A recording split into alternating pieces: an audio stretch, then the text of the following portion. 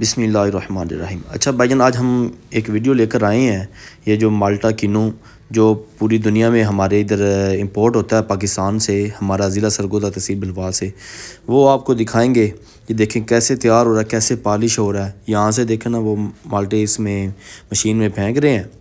यहाँ से माल्टा जो है, यहाँ पर पॉलिश हो रहा है सॉरी, वाश हो रहा है।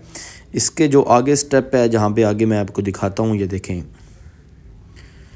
ये कैसे माल्टा मसल आगे वाश होकर जा रहा है इसमें सारे में पानी था। यहाँ ये जो मशीन है, जहाँ पे ये मोटर लगी हुई है, यहाँ पे ये जो इसको ना पॉलिश हो रहा है, इसको पॉलिश कर रहे हैं। तो केमिकल के ज़रिए ना पॉलिश हो रहा है। ये अभी आपको इसके आगे स्टेप पे दिखाएँगे। ये देखें। यहाँ से भी मतलब पॉलिश होकर जा रहा है। आगे इस पर जो है कि इसकी छांट कर रहे हैं, जो दाना गलत है, उसे बाहर निकाल रहे हैं। क्योंकि इसका, हमारे ये स्किनों का मैार है पूरी दुनिया में ये इम्पोर्ट होता है।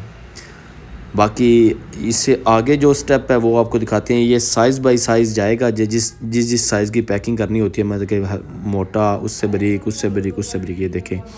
इसके सामने ये हमारे लोग बैठे हुए हैं, मुल्तानी भाई। मुल्तान से आकर यहाँ आकर काम कर रहे हैं। ये वो साइज़ बाई साइज़ इसकी पैकिंग कर रहे हैं। कार्टन में भी पैक होता है।